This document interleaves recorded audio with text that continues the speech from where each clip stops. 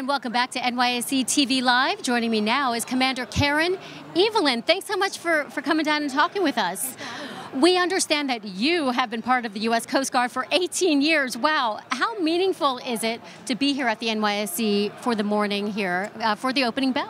Hi, yeah, it's uh, super meaningful. I mean, I run the command center here, and I think seeing how the critical role that we play in ensuring the maritime transportation, you know, happens and the flow of commerce, like seeing it all come together with, you know, many of these, uh, you know, uh, businesses, and it's, it's a great honor to be here. Yeah, it's amazing what the U.S. Coast Guard does, right? Uh, absolutely, absolutely. Uh, congratulations to your recent promotion to commander, and you were also made an honorary chief petty officer, so congratulations.